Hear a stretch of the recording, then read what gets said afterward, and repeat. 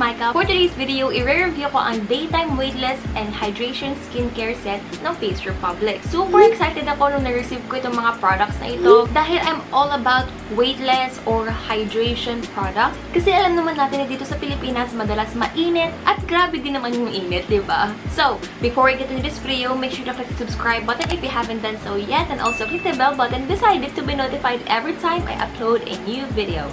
So without any further ado!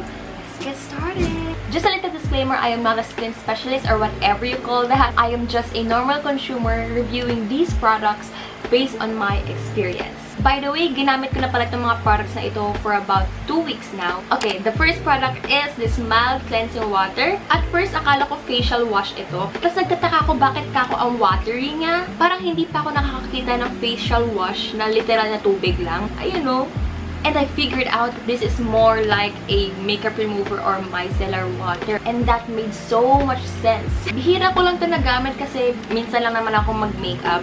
So I think I've used this one for twice or thrice na in the span of 2 weeks. Itong product na ito ay hindi lang pala siya pangtanggal ng makeup lang. Kasi para na rin itong 2-in-1 na makeup remover and cleanser. Kasi usually sa ibang nagagamit kong mga makeup remover or micellar water, let's say, okay, nagatanggal siya ng makeup, pero after that, ang greasy ng face ko, hindi ko ma-explain. And sobrang ayaw ko sa feeling na gano'n. So, ang nangyayari, after ko gumamit ng makeup remover, winawash ko talaga yung face ko gamit ng existing facial cleanser ko. Pero, nung ginamit ko ito, hindi greasy ang finish niya as in. And hindi ko na kailangan i-wash ulit yung face ko with another facial wash dahil parang naging 2-in-1 makeup remover and cleanser na rin itong product na ito.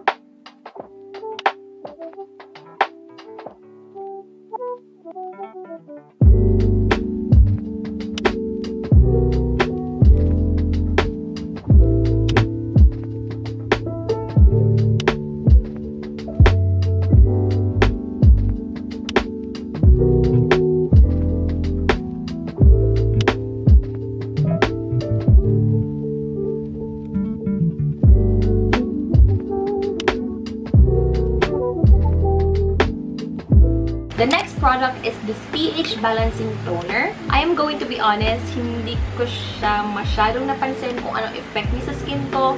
Or maybe kasi I am too naive to even notice. Pero I did some little research. Little lang naman. Wala lang time. I found out that this toner restores the pH balance of your skin without stripping away its natural oil. And I just learned that keeping the pH balance of your skin is a thing. You learn new things every day. So, ginagamit ko lang ito sa umaga kasi yung toner ko sa gabi is pang-maintain sa aking mga you know, acne and takot akong palitan yun. You know, alam niyo naman yung mga skin minsan.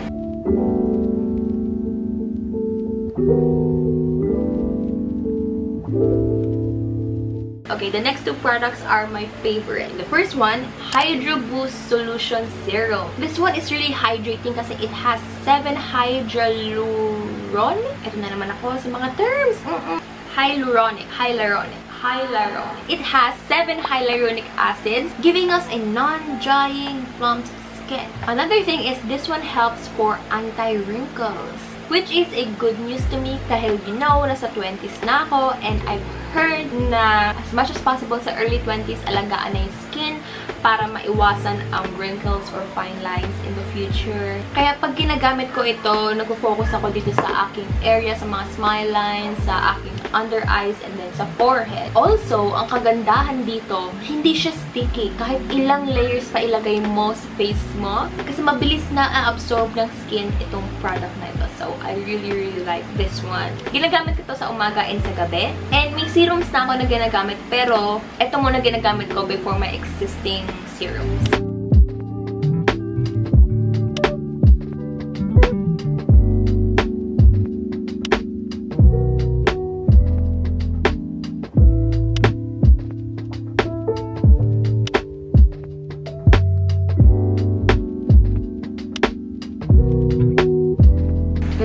Product is this Purity Sun Essence. This is their second sunscreen, I believe. If napanood niyo iba kong videos, you would know that my favorite product with their brand, with Face Republic, is their sunscreen, which is yung sun gel with SPF 50. Kaya sobrang na-excite ako to try out their second sunscreen. This one also has SPF 50+, But, meron siyang PA plus plus plus plus apat na plus. Found out PA is an abbreviation for protection grade of UVA rays.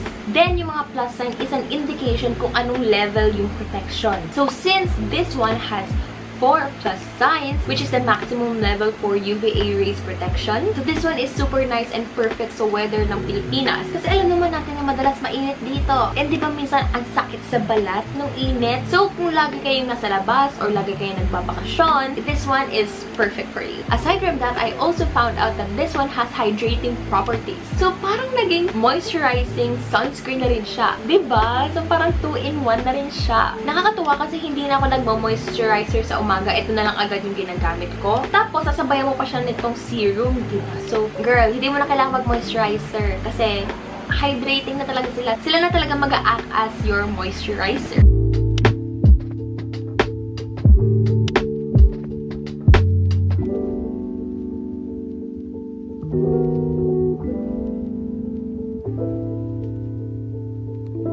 So, ang morning routine ko ito, facial wash or itong mild cleansing water. Tapos, itong pH balancing toner. Tapos, itong Hydro Boost Solution Serum. Isang patak lang ginagamit ko. Although, pwede naman kayo maraming patak. Pero, I prefer na isa lang. Tapos, itong sunscreen na agad. Tapos, paggabi, itong serum lang ang ginagamit ko from this set. Nakakatuwa kasi with these products, umuunti yung skincare routine steps ko, lalo na sa umaga. Kumbaga, parang, you know, less is more. So, kung meron kayo nagustuhan from these products, maglalagay ako ng product links in the description box below. Thank you so much for watching. Give this video a thumbs up and subscribe if you want to see more of me. And I'll see you guys on the next video. Bye!